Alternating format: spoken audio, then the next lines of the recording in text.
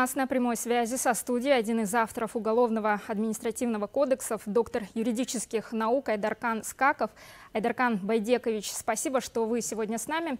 Вы доктор юридических наук, профессор кафедры уголовного, уголовно-исполнительного права Академии. На ваш взгляд, насколько Уголовный кодекс Казахстана нуждается в доработке именно в вопросах защиты прав женщин и детей? Спасибо за вопрос.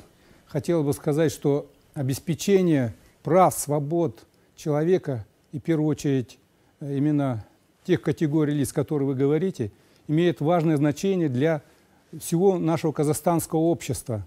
Дело в том, что именно эти социальные э, слои населения, они э, малозащищенные и требуют постоянной э, защиты со стороны государства. Вообще, что такое правовое положение этих категорий лиц? По теории права под правовым положением понимается совокупность субъективных прав, юридических обязанностей и законных интересов э, граждан. Поэтому вся эта совокупность в целом должна э, постоянно развиваться. В этом случае можно будет говорить о развитии правового государства в нашей стране. И тем более можно сказать, что и институты э, правового государства, в частности неправительственные организации, развитие их, как отметил, отметил наш президент Касым-Жомарт Кемельевич Токаев, является важным звеном формирования правового государства в нашей стране в целом.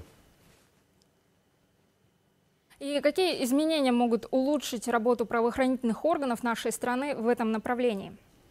Э, на наш взгляд, уже, уже на этой стадии мы сделали ряд положительных сдвигов. Вот э, новый, новый министр внутренних дел э, Туркумбаев Ирлан э, Заманбекович делает положительные, так скажем, шаги. В частности, сейчас формируются новые, так сказать, черты уголовно-исполнительной системы. Дело в том, что данная система имеет ряд упущений, недостатков, но хотелось бы отметить, что данная система обладает колоссальным, колоссальным важным значением социальное для всего нашего казахстанского общества, потому что в местах лишения свободы отбывают те же граждане, и на них распространяются все права свободы именно э, гражданина э, Республики Казахстан. Они ни в чем не должны ущемляться, только в зависимости от вида наказания. И вот здесь хотелось бы отметить, что недавно была конференция, на которой мы э, э обозначили основные направления развития пенитенциарной системы.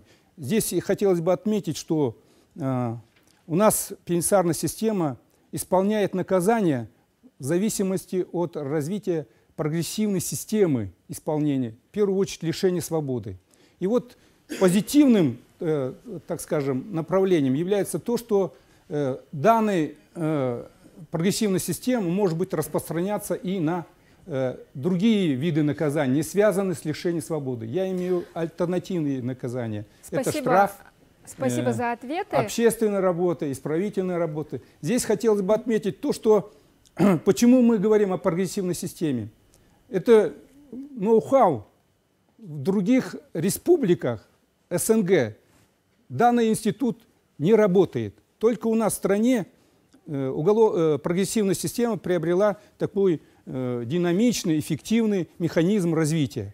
И сейчас мы, а, если перенесем... Айдархан это... Байдекович, извините, время эфира, к сожалению, ограничено. Спасибо за ответы. Я напомню, что на прямой связи со студией был один из авторов Уголовно-исполнительного кодекса, доктор юридических наук Айдархан Скаков.